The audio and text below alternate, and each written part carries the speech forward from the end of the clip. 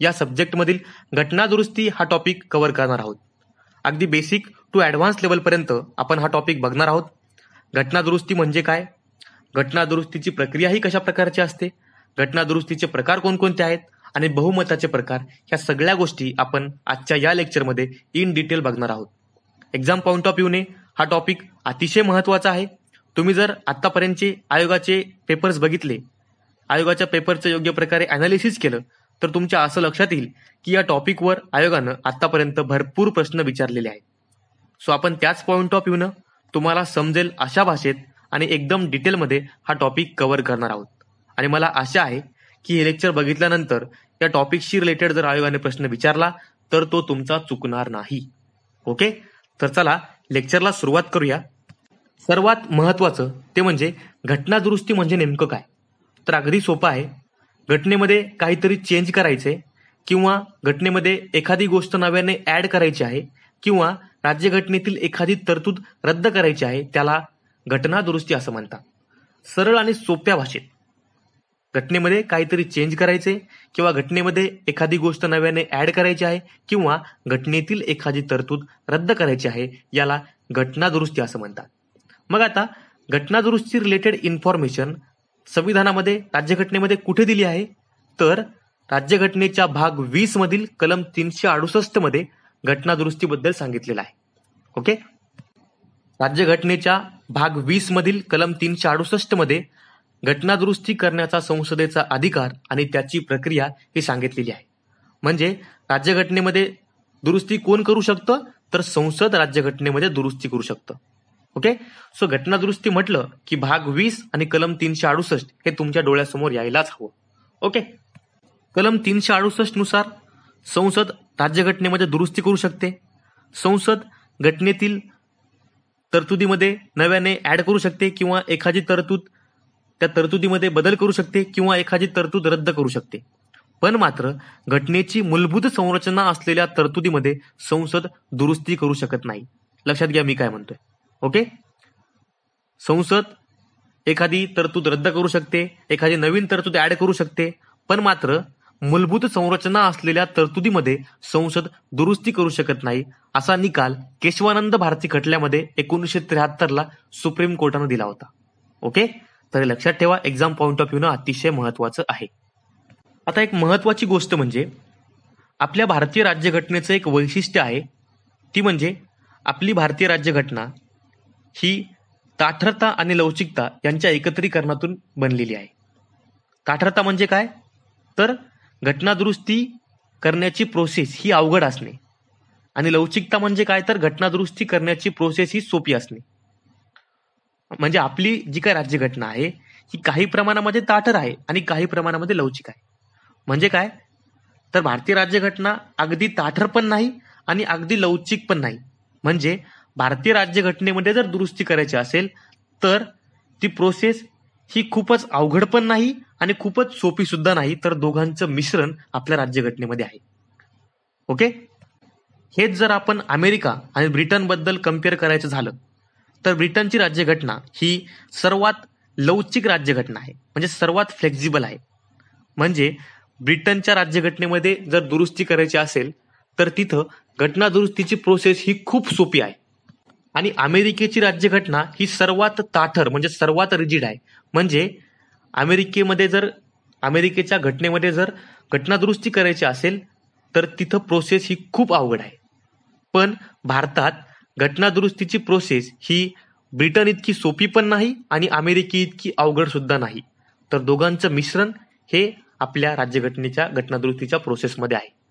Okay आता तुम्ही पुस्तकात वाचलेलं आहे फक्त की ब्रिटनमध्ये घटना दुरुस्तीची प्रोसेस ही खूप सोपी आहे आणि अमेरिकेमध्ये घटना दुरुस्तीची प्रोसेस ही खूप अवघड आहे. पण ऍक्च्युअल नेमकी प्रोसेस ही ब्रिटनमध्ये आणि अमेरिकेमध्ये घटना दुरुस्तीची कशा प्रकारची आहे हे आपण अगदी थोडक्यात जाणून घेऊ. हे काय एक्झामला येणार नाहीये पण तुम्हाला ऍक्च्युअल समजायला पाहिजे म्हणून मी तुम्हाला सांगत आहे. ब्रिटनची राज्यघटनेला ब्रिटनच्या राज्यघटनेला जीवित राज्यघटना म्हणजे लाईव्ह कॉन्स्टिट्यूशन असं म्हणतात. ओके? ब्रिटनच्या राज्यघटनेमध्ये जर असा एखादा प्रश्न उद्भवला की एखादी तरतूद राज्यघटनेमध्ये आहे की नाही? तर तिथं काय होतं? तर हाऊस ऑफ लॉर्डमध्ये त्या टाईपचं बिल मांडतात आणि ते बिल जर हाऊस ऑफ लॉर्डनं पास केलं तर ती तरतूद राज्यघटनेमध्ये आहे असं मानलं जातं. आणि ते बिल जर हाऊस ऑफ लॉर्डने फेल केलं तर ती तरतूद राज्यघटनेमध्ये नाही असं मानतात. तर इतकी सोपी पद्धत ब्रिटनच्या राज्यघटनेमध्ये घटनादुरुस्तीची आहे. म्हणजे जसा एखादा कायदा पास केला जातो तशा टाईपची घटनादुरुस्तीची प्रोसेस ही ब्रिटनमध्ये आहे. ओके त्यामुळं आतापर्यंत अगणित वेळा खूप वेळा ब्रिटनमध्ये घटनादुरुस्त्या झालेल्या आहेत. ओके पण मात्र अमेरिकेमध्ये घटनादुरुस्तीची पद्धत ही खूप म्हणजे खूपच अवघड आहे. अमेरिकेमध्ये घटनादुरुस्ती करण्याच्या दोन पद्धती आहेत. ओके एक म्हणजे अमेरिकेची संसद ज्याला काँग्रेस असं म्हणतात. ओके अमेरिकेची संसद ज्याला काँग्रेस असं म्हणतात या काँग्रेसच्या दोन्ही सभागृहाने घटनादुरुस्तीचं विधेयक टू थर्ड बहुमताने पारित पारित करणं गरजेचं असतं. लक्षात घ्या मी काय म्हणतोय. काँग्रेसच्या दोन्ही सभागृहाने घटनादुरुस्ती विधेयक टू थर्ड बहुमताने पारित करावं लागतं आणि त्यानंतर ते विधेयक घटनादुरुस्ती विधेयक थ्री फोर्थ राज्यांच्या विधिमंडळांनी सुद्धा ते पारित करणं गरजेचं आहे. म्हणजे अमेरिकेमध्ये पन्नास राज्य आहेत. मग पन्नासचं थ्री फोर्थ किती होईल? अडतीस थर्टी एट तर त्या थर्टी एट राज्यांच्या विधिमंडळांनी सुद्धा ते बिल पास करणं गरजेचं आहे. तरच तिथं घटनादुरुस्ती होऊ शकते. म्हणजे एवढी अवघड प्रोसेस अमेरिकेमध्ये घटनादुरुस्तीची आहे. ओके? विचार करा त्याच्यामुळेच असं म्हणतात की अमेरिकेची राज्यघटना ही सर्वात ताठर म्हणजे सर्वात रिजिड आहे. तर ही झाली पहिली प्रोसेस अमेरिकेमध्ये घटनादुरुस्ती करण्याची ही झाली पहिली पद्धत. काय आहे पहिली पद्धत? तर काँग्रेसच्या दोन्ही सभागृहाने घटनादुरुस्तीचं विधेयक टू थर्ड बहुमतानं पास करणं गरजेचं असतं. ते विधेयक दोन्ही सभागृहानं पारित झाल्यानंतर थ्री फोर्थ राज्यांनी ते विधेयक पास करणं गरजेचं असतं. म्हणजे पन्नास पैकी अडतीस राज्यांच्या विधिमंडळांनी सुद्धा ते विधेयक पास करणं गरजेचं असतं. ठीक आहे? दुसरी पद्धत काय आहे? तर अमेरिकेमध्ये राज्यांना सुद्धा घटना दुरुस्तीचा अधिकार आहे. समजा एकूण राज्यांपैकी टू थर्ड राज्यांनी तिथं ठराव पास केला की नव्याने एकदा कॉन्स्टिट्यूशन असेंब्ली बोलवा तर नव्याने एकदा कॉन्स्टिट्यूशन असेंब्ली बोलवली जाते नव्याने एकदा कॉन्स्टिट्यूशन असेंब्लीचं गठन होतं आणि त्या कॉन्स्टिट्यूशन असेंब्लीमध्ये ते बिल पास करावं लागतं आणि कॉन्स्टिट्यूशन असेंब्लीमध्ये ते बिल पास केल्यानंतर परत थ्री फोर्थ राज्यांनी ते घटनादुरुस्तीचा ठराव परत पास करावा लागतो. म्हणजे बघा किती किचकट आणि किती अवघड प्रक्रिया ही अमेरिकेमध्ये घटनादुरुस्तीची आहे. ओके पण ब्रिटनमध्ये मात्र घटनादुरुस्तीची प्रोसेस ही खूप सिंपल आहे. जसा एखादा कायदा आपण पास करतो त्याच पद्धतीनं ब्रिटनमध्ये घटनादुरुस्ती होते. पण अमेरिकेमध्ये मात्र तसं नाही. आणि अमेरिकेच्या या अवघड आणि किचकट प्रोसेसमुळंच आतापर्यंत फक्त सत्तावीस वेळाच घटनादुरुस्ती झालेल्या आहेत. ओके?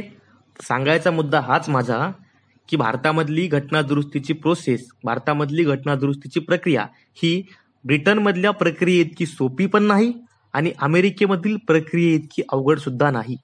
म्हणजेच भारतीय राज्यघटना अगदी ताठर पण नाही आणि अगदी लवचिक पण नाही तर दोघांचं मिश्रण आहे तर आय होप सो तुमच्या ही कन्सेप्ट इन डिटेल लक्षात आली असं का असं म्हणतात की भारतीय राज्यघटना अगदी ताठर नाही आणि अगदी लवचिक नाही तर दोघांचं मिश्रण आहे हे का म्हणतात हे तुमच्या लक्षात आलं असेल.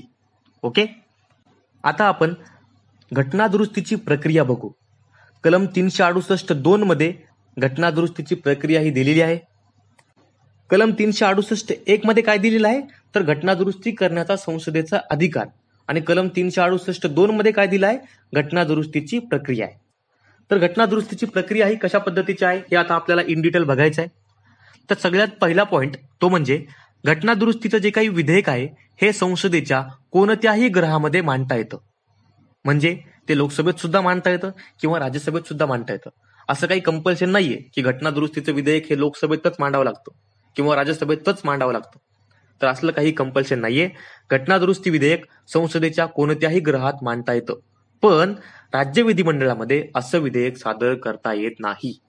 तर हे तुमच्या लक्षात असणं गरजेचं आहे. घटनादुरुस्ती विधेयक राज्य विधिमंडळामध्ये सादर करता येत नाही. ओके?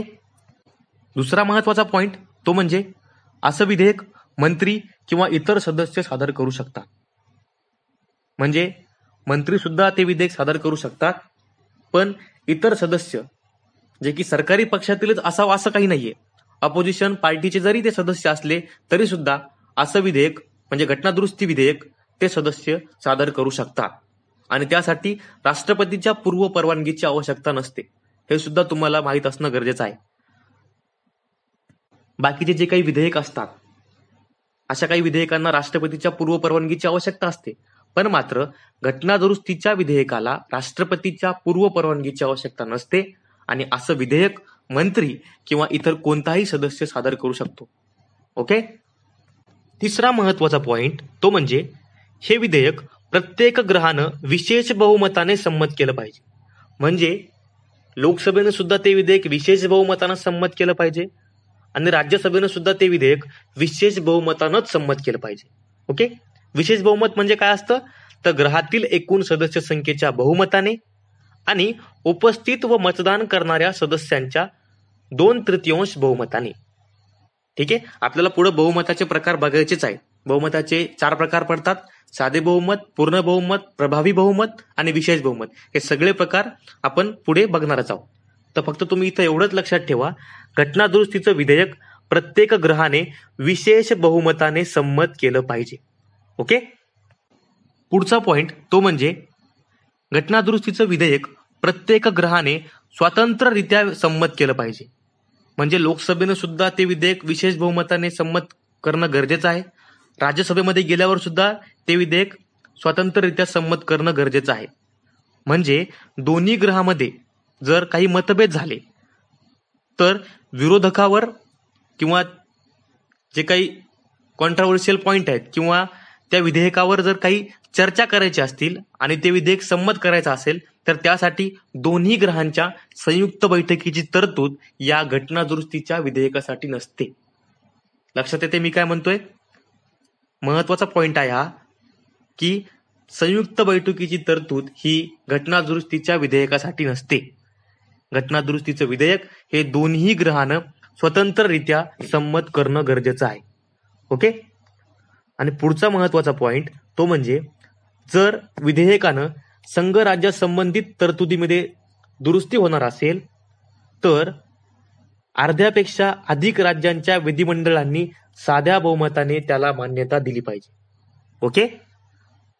म्हणजे जे काही घटना दुरुस्तीचं विधेयक आहे त्या विधेयकानं जर संघराज्या संबंधीमधील तरतुदीमध्ये काही बदल होत असेल मग अशा टाईपचं जर विधेयक असेल तर ते विधेयक लोकसभा आणि राज्यसभामध्ये विशेष बहुमताने तर पास होणं गरजेचंच आहे पण सोबतच अर्ध्यापेक्षा अधिक राज्यांच्या विधिमंडळांनी सुद्धा साध्या बहुमताने त्याला मान्यता देणं गरजेचं आहे. ओके? तर आय होप सो इथपर्यंत सगळ्यांच्या लक्षात आलं असेल. घटना दुरुस्तीचं विधेयक संसदेच्या कोणत्या पण सभागृहात मांडता येतं मग ते लोकसभेत असो किंवा राज्यसभेमध्ये असो. आणि दुसरं महत्वाचं म्हणजे राज्य विधिमंडळामध्ये असं विधेयक सादर करता येत नाही. त्यानंतर असं विधेयक मंत्री किंवा इतर सदस्य सादर करू शकतात. म्हणजे कोणताही सदस्य ते विधेयक सादर करू शकतो. आणि त्यासाठी राष्ट्रपतीच्या पूर्व परवानगीची आवश्यकता नसते. हे विधेयक दोन्ही ग्रहानं विशेष बहुमताने संमत करणं गरजेचंच आहे. आणि या विधेयकावर काही मतभेद झाले तर ते मतभेद सॉल्व्ह करण्यासाठी इथं संयुक्त बैठकीची तरतूद नाही. ठीक आहे? आणि महत्वाचं म्हणजे जर या विधेयकानं या घटनादुरुस्तीच्या एखाद्या घटनादुरुस्तीच्या विधेयकानं संघ तरतुदीमध्ये जर बदल होत असेल तर त्यावेळेस लोकसभा आणि राज्यसभाने ते विधेयक विशेष बहुमताने तर संमत करायचंच पण अर्ध्यापेक्षा अधिक राज्यांच्या विधिमंडळांनी सुद्धा साध्या बहुमताने त्याला मान्यता देणं गरजेचं आहे. ओके? मग एवढं झाल्यानंतर ते विधेयक राष्ट्रपतीकडे जातं आणि राष्ट्रपतीला त्या विधेयकाला मान्यता द्यावीच लागते. लक्षात आलं? राष्ट्रपतीने घटना दुरुस्ती विधेयकाला मान्यता देणं हे बंधनकारक करण्यात आलं आहे. चोवीसावी घटना दुरुस्ती एकोणीसशे एकाहत्तरनुसार. राष्ट्रपती मान्यता राखून ठेवू शकत नाही किंवा पुनर्विचारासाठी संसदेकडे परत पाठवू पाठवू शकत नाही. ओके? तर आय होप सो इथपर्यंत सगळ्यांच्या लक्षात आलं असेल. घटना दुरुस्तीची प्रक्रिया ही कशा पद्धतीची आहे हे सुद्धा लक्षात आलं असेल. आयोग मल्टीलायनर सारखा क्वेश्चन या घटना दुरुस्तीच्या प्रक्रियेवर विचारू शकतो. त्यामुळे एक्झाम पॉईंट ऑफ व्ह्यूने अतिशय महत्त्वाचा हा पॉइंट आहे. ओके?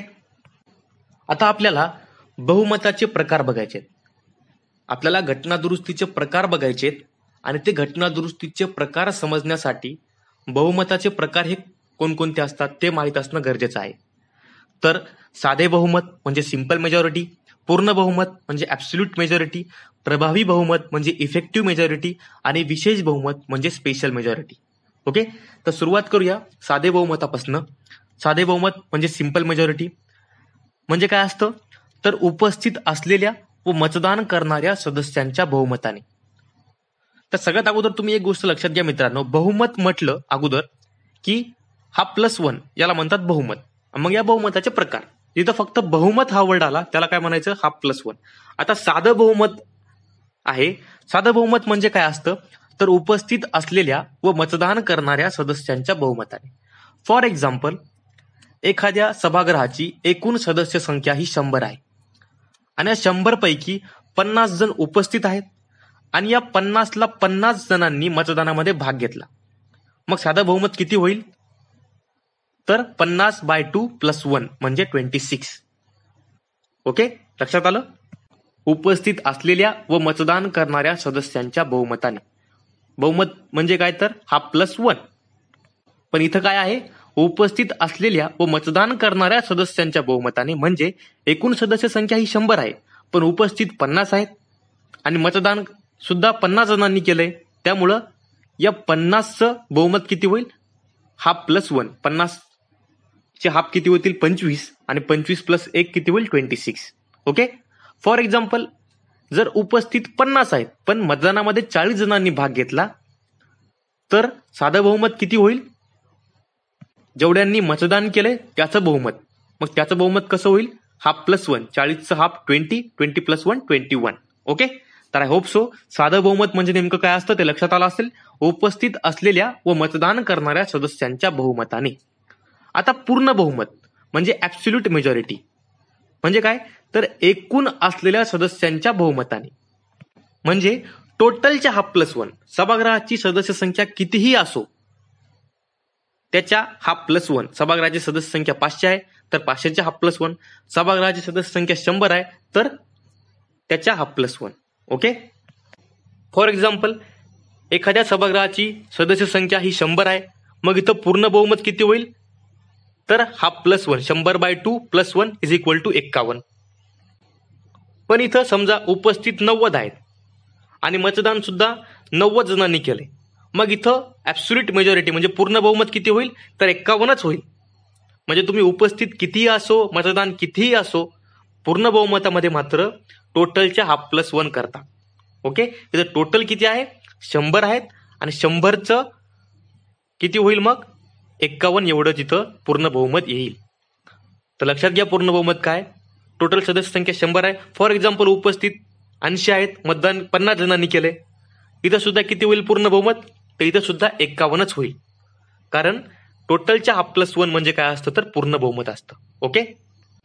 आता प्रभावी बहुमत म्हणजे इफेक्टिव्ह मेजॉरिटी आता हे काय असतं? फॉर एक्झाम्पल सभागृहाची एकूण सदस्य संख्या ही शंभर आहे. उपस्थित शंभर आहेत आणि मतदान सुद्धा शंभर करताय. मग प्रभावी बहुमत किती आहे? शंभर by two plus one is equal to एक्कावन्न. ओके फॉर एक्झाम्पल उपस्थित ऐंशी आहेत. शंभर पैकी उपस्थित किती आहेत? ऐंशी आहेत. आणि मतदान किती करतात? ऐंशीला ऐंशी करतात. इथं प्रभावी बहुमत किती होईल? इथं सुद्धा एक्कावन्नच होईल. प्रभावी बहुमतात सुद्धा एकूण सदस्य संख्येचा विचार करावा लागतो. कारण जरी उपस्थित ऐंशी असतील मतदान जरी ऐंशी करत असतील मात्र शंभर ही टोटल संख्या आहे. मग शंभरचं बहुमत एक्कावन्न इथं प्रभावी बहुमत हे एक्कावन्न होईल. पण जर वीस सदस्यांनी जर राजीनामा दिला त्यावेळेस सदस्य संख्या किती होईल? त्यावेळेस सदस्य संख्या ही ऐंशी होईल. आणि या ऐंशी पैकी जर उपस्थित सत्तर असतील आणि सत्तरला सत्तर जर मतदान करत असतील तर त्यावेळेस प्रभावी बहुमत किती होईल? तर ऐंशी by two plus one is equal to forty one लक्षात आलं? प्रभावी बहुमत काय असतं तर? समजा शंभर टोटल सदस्य संख्या आहे. आणि तीस सदस्यांनी राजीनामा दिला. मग प्रभावी बहुमत किती होईल? सत्तरच्या हा प्लस वन म्हणजे किती होईल? थर्टी सिक्स एवढं होईल. ओके तर आय होप सो प्रभावी बहुमत कळाला असेल. प्रभावी बहुमत आणि पूर्ण बहुमत हे एकच असतं. कधी एक असतं? ज्या वेळेस एक पण सीट किंवा एक पण जागा ही रिक्त नसते म्हणजे वॅकंट नसते. त्यावेळेस प्रभावी आणि पूर्ण बहुमत हे एकच असतं. ओके? आता विशेष बहुमत म्हणजे स्पेशल मेजॉरिटी विशेष बहुमत आत्ताच आपण डिस्कस केलंय. घटना दुरुस्तीचं विधेयक हे संसदेच्या दोन्ही सभागृहांनी म्हणजेच लोकसभा आणि राज्यसभा या दोन्ही सभागृहांनी संसदेचं घटना दुरुस्तीचं विधेयक हे विशेष बहुमतानं पारित करावं लागतं. आता तेच विशेष बहुमत काय आहे हे आपल्याला बघायचंय. विशेष बहुमत काय असतं? तर एकूण सदस्य संख्येच्या बहुमताने आणि उपस्थित व मतदान करणाऱ्या सदस्यांच्या टू थर्ड बहुमताने. ओके फॉर एक्झाम्पल एखाद्या सभागृहाची एकूण सदस्य संख्या ही शंभर आहे. मग या शंभरचं बहुमत किती होईल? हा प्लस वन शंभर बाय टू प्लस वन किती होईल? मग फिफ्टी वन मग शंभरपैकी उपस्थित किती आहेत? नव्वद आहेत. मतदान किती करताय? नव्वद करताय. मग या उपस्थित आणि मतदान करणाऱ्यांचं टू थर्ड किती होईल? तर नव्वदचं टू थर्ड किती होईल? सिक्स्टी ओके मग इथं दोन्ही कंडिशन सॅटिस्फाय होतात. म्हणजे टू थर्डचा जो काही आकडा आहे हा हाफच्या आकड्याच्या वर आला पाहिजे. त्यावेळेस ते बिल पास होणार. ओके फॉर एक्झाम्पल टोटल सदस्य संख्या शंभर आहे. ओके उपस्थित नव्वद आहेत पण मतदान किती जणांनी केलंय? तीस जणांनी केलंय. मग उपस्थित आणि मतदान करणाऱ्या सदस्यांच्या टू थर्ड बहुमताने म्हणजे तीसचं टू थर्ड किती होईल? वीस होईल. इथं मग ते बिल पास होईल का? नाही होईल कारण तो आकडा एक्कावन्नला क्रॉस करत नाहीये. ओके? दोन्ही कंडिशन इथे सॅटिस्फाय होत नाहीये. म्हणजे काय तर हाफचा जो काही टू थर्डचा जो काही आकडा आहे हा हाफच्या पुढं असला तर तेव्हा ते कुठं बिल पास होणार आहे. ठीक आहे? सेकंड केसमध्ये सेकंड एक्झाम्पलमध्ये बिल पास होईल का? तर नाही. तर आय होप सो साधं बहुमत पूर्ण बहुमत प्रभावी बहुमत आणि विशेष बहुमत ह्या चारही कॉन्सेप्ट तुमच्या क्लिअर झाल्या असतील. ओके आपण एक्झाम घेऊन एक्झाम्पल्स घेऊन त्या सगळ्या कन्सेप्ट क्लिअर केलेल्या आहेत. आता आपल्याला घटना दुरुस्तीचे प्रकार बघायचे आहेत. ओके कलम तीनशे अडुसष्ट दोन मध्ये घटना दुरुस्तीचे प्रकार सांगितलेले आहेत. कलम तीनशे अडुसष्टमध्ये दोन प्रकारच्या दुरुस्त्या सांगितल्या आहेत. एक म्हणजे संसदेच्या विशेष बहुमताने आता विशेष बहुमत काय हे आताच आपण बघितलंय आणि दुसरं म्हणजे संसदेच्या विशेष बहुमताने आणि निम्म्यापेक्षा अधिक घटक राज्यांच्या विधिमंडळाच्या साध्या बहुमताने. ओके? तर हे दोन घटनादुरुस्तीचे प्रकार हे तीनशे अडुसष्टमध्ये सांगितलेले आहेत. पण इथं असं सुद्धा म्हटलेलं आहे की काही तरतुदीमध्ये संसदेच्या साध्या बहुमतानं सुद्धा दुरुस्ती करता येईल. ओके? पण मात्र ह्या ज्या काही घटना दुरुस्त्या असतील ह्या तीनशे अडुसष्ट अनुसार घटना दुरुस्त्या असतील असं मानलं जाणार नाही. म्हणजे तीनशे अडुसष्ट बाहेरील घटना दुरुस्ती ज्या असतील त्या संसदेच्या साध्या बहुमताने करण्यात येतील. ओके? म्हणजे घटना दुरुस्तीचे तीन प्रकार पडतील. एक म्हणजे संसदेच्या विशेष बहुमताने दुसरं म्हणजे संसदेच्या विशेष बहुमताने आणि निम्म्यापेक्षा अधिक राज्यांच्या विधिमंडळाच्या साध्या बहुमताने आणि तिसरं म्हणजे तीनशे अडुसष्ट बाहेरील घटना दुरुस्त्या ओके? ज्या की साध्या बहुमताने करता येतील. ओके? आता आपण वन बाय वन बघू. संसदेच्या साध्या बहुमताने ज्या काही घटना दुरुस्त्या करतात त्यामध्ये कोणकोणत्या तरतुदींचा समावेश होतो? मग संसदेच्या साध्या बहुमताने घटना दुरुस्ती करायची. म्हणजे काय? तर ही घटना दुरुस्ती कलम तीनशे अडुसष्टच्या कक्षेबाहेरची असणार आहे. ओके? तर लक्षात ठेवा. मग या संसदेच्या साध्या बहुमताने आपल्याला कोणकोणत्या तरतुदीमध्ये घटना दुरुस्ती करता येते? तर नवीन राज्यांची स्थापना किंवा प्रवेश नवीन राज्यांची निर्मिती किंवा क्षेत्रामध्ये सीमामध्ये किंवा नावामध्ये बदल करायचा असेल किंवा राज्यांच्या विधान परिषदा रद्द करायच्या असतील किंवा स्थापन करायच्या असतील किंवा दुसऱ्या अनुसूचीमध्ये बदल करायचा असेल तर संसदेच्या साध्या बहुमताची गरज असते. किंवा संसदेच्या साध्या बहुमताने घटना दुरुस्ती करता येतं. त्यानंतर संसदेची गणपूर्ती संसद सदस्यांचे वेतन भत्ते त्यानंतर संसदेचे काही विशेष अधिकार संसदेतील प्रक्रियेचे नियम याच्यामध्ये सुद्धा काही बदल करायचा असेल तर तो संसदेच्या साध्या बहुमताने घटना दुरुस्ती करून करता येतो. त्यानंतर संसदेमध्ये जर इंग्लिश भाषेचा वापर याच्यामध्ये काही तरतुदी करायच्या असतील सुप्रीम कोर्टाच्या कनिष्ठ न्यायाधीशांची संख्यामध्ये काही बदल करायचा असेल त्यानंतर सुप्रीम कोर्टाची कार्यकक्षा वाढवणे त्यानंतर अधिकृत भाषेचा वापर याच्यामध्ये जर काही बदल करायचा असेल तर संसदेच्या साध्या बहुमताने करता येईल. आणखीन महत्वाचं म्हणजे नागरिकत्व मिळवणं नागरिकत्व गमावणं संसद राज्य वि- त्यानंतर राज्य विधानमंडळा यांच्या निवडणुका त्यानंतर मतदारसंघाचे परिसीमन आणि संघ राज्य प्रदेश. ह्या ज्या काही गोष्टी आहेत या गोष्टीमध्ये जर बदल करायचा असेल तर संसदेच्या साध्या बहुमताने घटनादुरुस्ती करून तो करता येतो. ओके? मग पण महत्वाचं म्हणजे ह्या ज्या काही घटनादुरुस्ती आपण करू ह्या कलम तीनशे अडुसष्टच्या कक्षेबाहेरील असतील. ओके? म्हणजे संसदेच्या दोन्ही ग्रहांच्या साध्या बहुमतानं इथं दुरुस्ती करता येतं या तरतुदीमध्ये दुरुस्ती करता येतं. ओके? हा झाला एक प्रकार ज्यामध्ये आपण तीनशे अडुसष्ट बाहेरील घटना दुरुस्ती बघितल्या ज्या की संसदेच्या साध्या बहुमताने करता येईल. दुसरा प्रकार म्हणजे संसदेच्या विशेष बहुमताने आणि राज्यांच्या संमतीनं. जे विषय घटनेतील संघराज्य प्रणालीशी निगडीत आहेत. त्याच्यामध्ये जर काही बदल करायचा असेल तर त्यावेळेस संसदेचं विशेष बहुमत आणि निम्म्यापेक्षा अधिक राज्यांच्या विधिमंडळाच्या साध्या बहुमताची गरज असते. ओके? मग यामध्ये कोणकोणत्या तरतुदी आहेत? राष्ट्रपतीची निवडणूक आहे त्याची पद्धत आहे त्यानंतर संघराज्य आणि राज्य यावरील कार्यकारी अधिकार आहेत. त्यानंतर सर्वोच्च न्यायालय आणि उच्च न्यायालय याच्यामधल्या काही तरतुदी आहेत. त्यानंतर संघराज्य आणि राज्य यांच्यामधले काही कायदेविषयक अधिकार आहेत. त्यानंतर सातव्या सूचीतील कोणतीही सूची त्यानंतर संसदेतील राज्यांचे प्रतिनिधित्व. ओके? या गोष्टीमध्ये जर बदल करायचा असेल तर संसदेच्या विशेष बहुमताची आणि निम्म्यापेक्षा अधिक राज्यांच्या विधिमंडळाच्या साध्या बहुमताची गरज असते. आणि महत्वाचं म्हणजे घटना दुरुस्ती करण्याचा संसदेचा अधिकार म्हणजे जर कलम तीनशे अडुसष्टमध्ये सुद्धा जर काही बदल करायचा असेल तर त्याला सुद्धा संसदेच्या विशेष बहुमताने आणि निम्म्यापेक्षा अधिक राज्यांच्या विधिमंडळाच्या साध्या बहुमताची गरज असते. ओके? फॉर एक्झाम्पल जी काही एकशे एकवी घटना दुरुस्ती होती जीएसटीची ठीक आहे? त्याला निम्म्यापेक्षा अधिक राज्यांच्या विधिमंडळाच्या साध्या बहुमताची गरज होती. कारण राज्यांचा जो काही कर लावण्याचा अधिकार होता तो कमी झाला होता. ठीक आहे? यासाठी मग राज्यांची संमती तिथं आवश्यक होती. त्यानंतर त्र्याहत्तरावी चौऱ्याहत्तरावी घटना दुरुस्ती म्हणजे स्थानिक स्वराज्य संस्था यावेळेस सुद्धा निम्म्यापेक्षा अधिक राज्यांच्या विधिमंडळाच्या साध्या बहुमताची गरज होती. ओके? तर आय होप सो संसदेच्या विशेष बहुमताने आणि राज्यांच्या संमतीनं ज्या काही घटना दुरुस्त्या करायच्या असतात त्या तरतुदी कोणकोणत्या आहेत त्या आपण अगदी व्यवस्थित बघितल्या. आणि तिसरं महत्वाचं म्हणजे संसदेच्या विशेष बहुमताने. घटनेतील बऱ्याच तरतुदीमध्ये संसदेच्या विशेष बहुमताने दुरुस्ती करता येतं. विशेष बहुमत काय? आता हे आहेत आय होप सो सगळ्यांना कळाला असेल.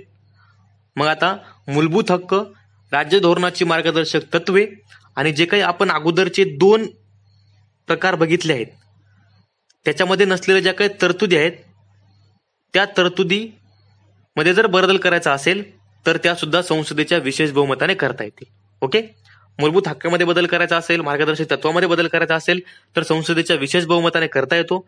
आणि आपण अगोदरचे जे काही दोन प्रकार बघितलेत एक म्हणजे संसदेच्या साध्या बहुमताने म्हणजे कलम तीनशे अडुसष्ट बाहेरील घटना दुरुस्ती आणि दुसरं म्हणजे संसदेच्या विशेष बहुमताने आणि राज्यांच्या संमतीनं याच्यामध्ये नसलेल्या ज्या काही तरतुदी असतात त्या तरतुदीमध्ये जर काही बदल करायचा असतील तर तो त्या तर त्याबद्दल सुद्धा संसदेच्या विशेष बहुमताने करावा लागेल. ओके? तर आय होप सो सगळ्या गोष्टी तुमच्या इन डिटेल क्लिअर झाल्या असतील. सगळ्यात महत्त्वाचं म्हणजे कलम तीनशे अडुसष्ट घटनेचा भाग वीस हे लक्षात ठेवा. त्यानंतर दुसरं म्हणजे घटनेची मूलभूत संरचना असलेल्या तरतुदीमध्ये संसद दुरुस्ती करू शकत नाही.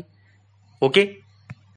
राज्यघटनेमध्ये बदल करण्याची जी काही दुरुस्ती करण्याची जी काही प्रोसेस आहे आपल्या भारताची ती अमेरिके इतकी अवघड पण नाही आणि ब्रिटन इतकी सोपी पण नाही. मग अमेरिकेमध्ये कशा प्रकारे अवघड प्रक्रिया आहे आणि ब्रिटनमध्ये कशा प्रकारे सोपी पद्धत आहे हे सुद्धा आपण थोडंफार बघितलं. त्यानंतर जी काही घटनादुरुस्तीची प्रक्रिया आहे ते सुद्धा आपण बघितली. घटनादुरुस्तीचं विधेयक हे कोणत्याही सभागृहामध्ये मांडता येतं. मग ते लोकसभा असो राज्यसभा असो संयुक्त बैठकीची तरतूद तिथे नाही. ओके? त्यानंतर दोन्ही ग्रहानं ते विधेयक विशेष बहुमतानं संमत करणं गरजेचं आहे. आणि ते विधेयक मंत्री किंवा इतर सदस्य कोणीही सुद्धा मांडू शकतो. आणि महत्वाचं म्हणजे राष्ट्रपतीला त्या विधेयकाला मान्यता देणं हे बंधनकारक करण्यात आलं आहे. चोवीसावी घटनादुरुस्ती एकोणीसशे एकाहत्तरनुसार. या सगळ्या गोष्टी आपण इन डिटेल बघितल्या. त्यानंतर आपण बहुमताचे प्रकार बघितले. साधे बहुमत पूर्ण बहुमत प्रभावी बहुमत आणि विशेष बहुमत. ह्या सगळे बहुमत आपण एक्झाम्पल घेऊन गणितीय कॅल्क्युलेशन करून आपण हे क्लिअर केलं. आणि महत्वाचं म्हणजे शेवटचा पाठ तो म्हणजे घटना दुरुस्तीचे प्रकार सुद्धा आपण बघितले जे की दोन प्रकार पडतात. खरं तर संसदेच्या विशेष बहुमताने घटना दुरुस्ती करता येतं आणि दुसरं म्हणजे संसदेच्या विशेष बहुमताने आणि- आणि निम्म्यापेक्षा अधिक राज्यांच्या विधिमंडळाच्या साध्या बहुमताने घटना दुरुस्ती करता येतं. पण काही तरतुदी अशा आहेत ज्या की संसदेच्या साध्या बहुमताने सुद्धा त्यामध्ये बदल करता येतो. पण त्या तरतुदी कलम तीनशे अडुसष्ट बाहेरील घटना दुरुस्ती असतील असं मानलं जातं. ओके? तर या सगळ्या गोष्टी आपण इन डिटेल बघितला. आणि मला आजच्या या लेक्चरमधून तुम्हाला एक प्रश्न विचारायचा आहे. त्याचं उत्तर सगळ्यांनी द्यायचंय. एकशे एकवी घटना दुरुस्ती एकशे दोनवी घटना दुरुस्ती आणि एकशे तीनवी घटना दुरुस्ती कोणकोणती आहेत त्या तुम्ही कमेंट बॉक्समध्ये त्याचा आन्सर प्रोव्हाइड करायचा आहे. ओके? तर आय होप सो सगळ्या गोष्टी क्लिअर झाल्या असतील. लेक्चर आवडला असेल लेक्चर आवडला असेल तर नक्कीच व्हिडिओला लाईक करा. आणि चॅनलला सबस्क्राईब करायला अजिबात विसरू नका. Okay? Thank you Unacademy let's crack it. भारतातील सर्वात मोठा ऑनलाईन शैक्षणिक प्लॅटफॉर्म. लेट्स क्रॅक इट असं म्हणण्याऐवजी आपण let's crack M P S C असं म्हणू. मित्रांनो जर तुम्हाला तुमचं स्वप्न पूर्ण करायचं असेल एम पी एस सीमधली जर तुम्हाला पोस्ट काढायची असेल तर आत्ताच अन अकॅडमी हे ॲप डाउनलोड करा. भारतातले जेवढे काही टॉप एज्युकेटर्स आहेत त्या सगळ्यांकडून तुम्हाला अन अकॅडमीवर शिकायला मिळेल. आणि तुमच्या सगळ्या कन्सेप्ट ह्या खूप लवकर क्लिअर होतील. स्क्रीनवर मी तुम्हाला अनअकॅडमीवर जेवढे काही टॉप एज्युकेटर्स आहेत त्यांच्या फ्री क्लासचा टाईम दिला आहे. तो तुम्ही बघू शकता. नक्कीच तुमच्या सगळ्या कॉन्सेप्ट ह्या तिथं क्लिअर होतील. तसेच अनअकॅडमीवर तुम्हाला दररोज ट्वेंटी टेस्ट तुमच्यासाठी फ्री असतील. यासाठीचा जो काही टायमिंग आहे हा सुद्धा मी स्क्रीनवर दिला आहे. आता ह्या ज्या काही दररोजच्या वीस टेस्ट असतील ज्या की फ्री आहेत किंवा जे काही फ्री लाईव्ह क्लास असतील हे जर तुम्हाला बघायचे असतील तर तुम्हाला एक कोड यूज करावा लागेल. Vikas Kolhal live. V I K A S K O L H A L L I V असा हा कोड आहे. हा कोड मी डिस्क्रिप्शन बॉक्समध्ये सुद्धा देणार आहे. म्हणजे अनअकॅडमीवरचा सगळा जो काही फ्री कंटेंट आहे त्याचा जर तुम्हाला बेनिफिट म्हणजे फायदा करून घ्यायचा असेल तर माझा कोड तुम्हाला वापरावा लागेल आणि सगळे फ्री बेनिफिट्स हे त्यानुसार अनलॉक होतील. ठीक आहे? त्यामुळं माझा कोड यूज करा आणि अनअकॅडमीवरच्या सगळ्या फ्री कंटेंटचा लाभ घ्या. जर तुम्हाला फ्री लाईव्ह क्लासचा फायदा झाला असेल सगळ्या कॉन्सेप्ट ह्या तुमच्या क्लिअर झाल्या असतील आणि तुम्हाला अजून डीपमध्ये जर अभ्यास करायचा असेल तर अनअकॅडमी प्लसला जॉईन व्हा. ठीक आहे? अनअकॅडमी प्लसचे जेवढे काही फायदे आहेत हे मी तुम्हाला स्क्रीनवर दिलेले आहेत. तुम्ही सगळे हे फायदे बघून घ्या आणि लगेच अनअकॅडमी हे ॲप डाउनलोड करा. विकास कोल्हाळ लाईव्ह हा जो काही माझा रेफरल कोड आहे हा यूज करा आणि अनअकॅडमीवर जेवढा काही फ्री कंटेंट आहे तो सगळा अनलॉक करा. जेणेकरून जेवढे काही फ्री लाईव्ह क्लासेस आहेत ते तुम्हाला इझिली बघता येतील. ज्या काही दररोजच्या वीस टेस्ट असतात त्यासुद्धा तुम्हाला इझिली देता येतील. त्यामुळं तुमचं जे काही स्वप्न आहे एम पी एस सीमधली पोस्ट काढणं किंवा गव्हर्नमेंट ऑफिसर होणं ते जर तुम्हाला पूर्ण करायचं असेल तर आजच डाउनलोड करा Unacademy app let's crack it